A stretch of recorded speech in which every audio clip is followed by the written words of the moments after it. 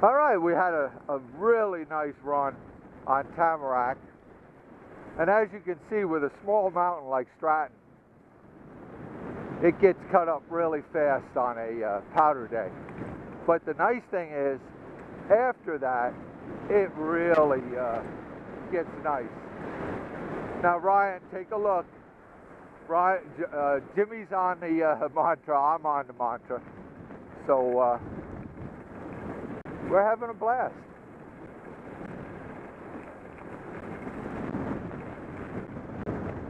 Looks like they groomed the right side and they're going to leave a little bit on the side for us. So here we go.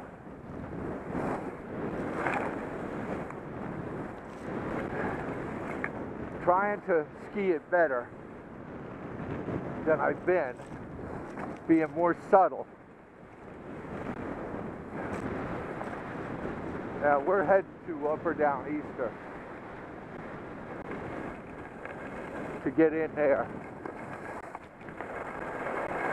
Now we're going to be going from Corduroy into Powell. So I got to be ready for this. Yep. And uh, it looks like uh, they hit some of this already.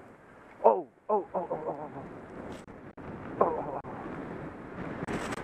They just did the top, that's all. Okay.